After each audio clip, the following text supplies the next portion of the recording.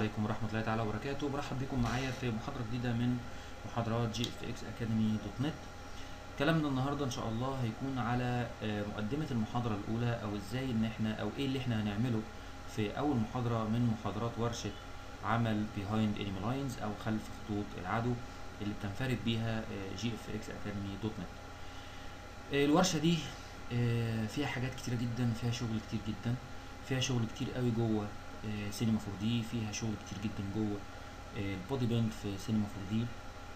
بعد كده فيها شغل في ال animation آه، فيها شغل بعد كده في ال compositing في ال color correction في حاجات كتيرة جدا في مجال ال VFX الورشة في الأصل بصراحة يعني عشان أكون صريح هي ما كانتش آه، مجانية أو ما كانتش free لكن هي كانت تبع دبلومة ال visual effects أو ال film making اللي بصراحة إحنا بنحضر لها بقالنا بحوالي آه، أربع شهور أو خمس شهور في جي إف إكس أكاديمي هتبقى آه، دبلومة إن شاء الله إن شاء الله فريدة من نوعها في مصر والعالم العربي بإذن الله. آه، مبدئيا آه، مدة ال- ال- الدبلومة دي هتبقى يعني من آه، ست إلى تسع شهور يعني هتبقى المدة طويلة مش آه، قصيرة. آه، بصراحة الدبلومة آه، عبارة عن آه، ورش آه، عمل من مشاهد مختلفة آه، لأفلام. هندرس فيها تقريبا آه، أنواع كتيرة جدا من الأفلام زي أفلام الأكشن زي آه، آه، الرعب زي أفلام ال sci-fi أو الخيال آه، العلمي الدراما ال- ال- الوثائقية. كل الكلام ده هندرس إزاي بيتعمل وهنبني فعلا مشاهد حقيقية من أفلام. غير كده إزاي إن إحنا آه، نتعلم فيها من أول ما بتنزل تصور لحد ما بترجع تعمل ال color correction بعد كده نتعلم إزاي نعمل chroma keying بعدها ال 3D compositing بعدها ال production ثم بعد كده عملية المونتاج النهائي. طبعا الكلام ده عبارة عن مجرد أبواب أو تبويبات للدبلومة تحت كل تبويب من دول. كلام كتير جدا وشغل. آه، كتير جدا. مش عايز اتكلم كتير عنها لأن إحنا لسه ما أعلناش عنها ولا عن سعرها ولا عن مدتها ولا عن مكانها ولا الكلام ده كله. بس إن شاء الله انتظرونا قريبا بإذن الله. هنعلن عن المقدمة أو الدبلومة دي بكل تفاصيلها بإذن الله. behind enemy lines كانت واحدة من الورش اللي هتتقدم في الدبلومة دي لكن إحنا قلنا نطلعها free على سبيل إزاي إنك انت أو إن إحنا نقول للناس إيه اللي أنت هتتعلمه في الدبلومة دي أو إيه المستوى اللي أنت هتوصل له في ال- الدبلومة دي إن شاء الله. مش عايزين نتكلم كتير أو مش عايز اطول عليكم لكن بإذن الله في ال- المرحلة الأولانية من ورشة behind enemy lines هنتعلم إزاي إن إحنا نعمل ال texturing بتاع الطيارة أو بتاع الموديل. طبعا آه، آه، يعني آه، دي مش معمول لها color correction عشان بس ما حدش يفتكر إن دي الصورة النهائية دي مش الصورة النهائية ولا حاجة. لكن أنا بحاول إن أنا أوصل ل 50 أو 60% من ال color correction جوه السينما 4 دي طبعا عن طريق ال environment عن طريق ال sky عن طريق ال physical sky عن طريق كل الكلام ده بحاول إن أنا أطلع ال ال ال الموديل بتاعي واخد نفس ال light أو نفس ال environment بتاع ال ال البيئة اللي هيتعمل له بيها compositing في ال After Effects بوفر على نفسي شوية في ال color correction بحصر عملية ال color correction في إن أنا ما أعملش coloring لا إن أنا أعمل مجرد شغل tint أو شغل merge بسيط بين الموديل وبين البيئة عشان أنتهي من عملية ال coloring جوه السينما 4 دي وأطلع ال model already بالإضاءة وال tone بتاع ال sky أو بتاع البيئة اللي حواليه زي ما أنتم شايفين كده. يا دوب متهيألي أي واحد فيكم هيبص على الصورة دي مش محتاجة coloring لكن هي محتاجة blur و tint بس فقط لا غير وتبقى كأنها جوه البيئة دي مباشرة.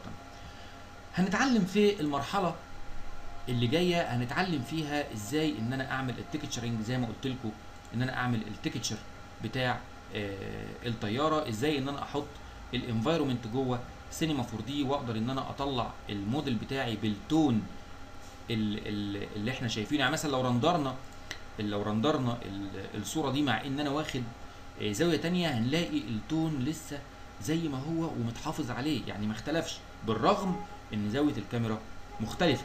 إزاي ان إحنا نقدر نوصل آه، لحاجة زي طبعا عن طريق إعدادات كتيرة جدا في ال GI عن طريق إعدادات آه، كتيرة جدا في ال physical sky وبرضه هستخدم plugin أنا كنت اتكلمت عنه من فترة لكن للأسف ملوش أي دروس عربية خالص بخلاف ال- الدرس اللي عمله آه، أخويا الأستاذ محمد آه، زقزوق في آه، group آه، Arab Motion Graphics واللي إحنا حطيناه في GFX Academy شرح فيها مبادئ العمل أو إزاي إن أنت تسطب أو تعمل setup ل plugin ال sIBL set بصراحة وفر علينا شغل كتير آه، جدا جدا. زي ما أنتم شايفين بالمنظر ده واحد فيكم يقدر يقول لي مش محتاجه color correction فعلا مش محتاجة كده color correction إلا بسيط جدا لأن ال plugin ده أو ال environment بتاع ال plugin ده آه، بتوفر عليك شغل كتير قوي. بس إحنا مش هنحطه هنا اعتباطا لا ده أنا إحنا هنشرح ليه هو شغال بتلاتة sky ليه هو شغال بال infinite light إزاي بحط وفين بحط ال infinite light. واحد يقول لي لا أنا شايف هنا sun light ال sun light ده دوره مختلف تماما عن ده وهقول لكم ليه إن شاء الله في آه، المحاضرة. بعد ما نعمل إضاءة مبدئية طبعا مش دي الإضاءة اللي إحنا هنعملها من أول مرة. إحنا هن- هنلجأ هنا لأسلوب أو لأسلوب جديد شوية في عملية الإضاءة أو عملية الإظهار قبل ما أشتغل على الإضاءة الأساسية إن أنا هعمل إضاءة تظهر لي بس الموديل بدون أي خامات. واحد يقول لي طب أنت كده هتزود على نفسك خطوه أقول لك لا أنا مش هزود. بس كل ما في الموضوع إن أنا ساعه ما هدخل في البادي بينت مش هيبقى عندي الكلام ده. أنا هحتاج الموديل ده ينور بس عشان أحط الخامات مش أكتر. لما ندخل لل Body Paint طبعا إحنا ما يهمناش قوي في في في العملية دي ال UV يتم بشكل صحيح. إحنا هنعتمد على حتى ال box UV مش هنعتمد على آه، إن إحنا أو مش هنتكلم كتير في عملية الفرد قد ما هنتكلم في عملية إزاي إن أنا أحط الكتابات دي زي ما أنتم شايفين كده. خلاص إزاي أحطها في الأماكن اللي أنا عايزها بالظبط. فده اللي هنتكلم عليه في ال UV طبعا سواء كان في ال tail طبعا هنتكلم إزاي إن إحنا نعمل شغل ال scratches وال dirt أنا مش عايز أنطقها بالعربي بصراحة. تمام؟ إزاي إن إحنا نعمل شغل ال dirt في ال Body Paint عشان أطلع الطيارة زي ما أنتم شايفين بشكل آه، يدي reality طبعا الخامة اللي في ال Body Paint بتبقى مختلفة شوية عن الخامة العادية. يعني إحنا هنتكلم إزاي إن إحنا نعمل الخامة عبارة عن ليرات عبا- عبارة عن ليرات اسف عبارة عن channels كل channel من دي دورها إيه؟ وبستخدمها إمتى؟ إمتى بستخدم ال multi-channel mode إمتى ما بستخدمش ال multi-channel mode إزاي ان أنا استخدم ال brushes اللي موجودة جوه ال Body Paint ده ده غير كده كمان يعني غير كده كمان إزاي ان أنا ادخل ال brushes بتاعة Photoshop لل Body Paint واستخدم ال brushes بتاعة Photoshop جوه ال Body Paint بعد ما نخلص الشغل بتاعنا جوه ال Body Paint هنرجع للسينما 4 دي عشان نبدأ نظبط بقى ال lighting sets بتاعتنا نبدأ نتكلم شوية في ال standard lighting وال physical lighting لكن في الآخر إحنا هنرسى على ال standard lighting هنتكلم إزاي إن إحنا نطلع ال render passes من السينما 4 دي علشان تروح لل After Effects عشان نضمن عملية compositing مكتملة عملية compositing كاملة الأركان. غير كده كمان في ناس يقول لك أنا لو أنا عايز أطلع ambient occlusion لو أنا عايز أطلع ال diffuse أطلعه من ال multi-passes هنتعلم هنا طريقة يدوية واحترافية جدا إن أنا أطلع كل pass لوحده منفصل ما يبقاش معاه شوايب. يعني إيه شوايب؟ لما هاجي أطلع ال shadow pass أو هاجي أطلع ال ambient أو ال AO pass لازم هيطلع معاه شوية من ال diffuse على شوية من الالفا أنا مش عايز الكلام ده أو عايز اعمل eliminate لل bugs أو الحاجات ال- ال- الزايدة في ال render passes اللي إحنا آه، هنعملها. هنتعلم كمان إزاي نتعامل مع ال normal maps علشان اضمن آه، توزيع كويس لل details بتاعه آه، الخامة. آه، غير كده كمان فاتتني حتة مهمة قوي في ال Body Paint إن أنا هحط ال details بال material يعني إحنا لو خدنا بالنا كده شايفين ال details دي الخطوط الخطوط دي تمام؟ الخطوط دي دي أنا هحطها ب هحطها بال material مش هعملها في الموديل.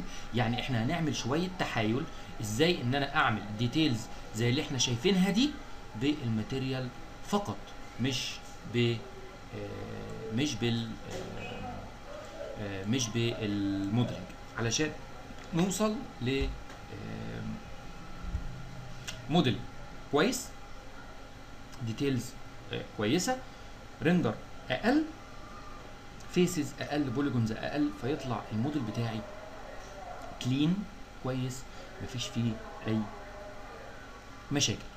دي كانت مقدمة سريعة عن المرحلة اللي إحنا هنشتغلها آه، في ال- المحاضرات الأولية أو المحاضرة الأولى أو سلسلة المحاضرات بتاعة المرحلة آه، الأولى لل texturing بتاع جسم الطيارة. طبعا ال texturing ده هيتم مرة واحدة بعد كده بقى كلامنا كله هيبقى على ال animation وعلى ال ال compositing. هنستخدم ال external compositing وال compositing tag آه، كتير جدا جدا جدا في آه، في ال- ال- الأجزاء اللي بعد كده. يعني هينحصر الكلام في ال 3D package بتاعنا اللي هو سينما 4 دي هينحصر الكلام في ال animation هينحصر الكلام في الكاميرا. بالمناسبة في الورشة دي هعلمكم أو هنتعلم إزاي نعمل كاميرا إزاي أنت ت create كاميرا بال parameters بتاعتك آه أنت.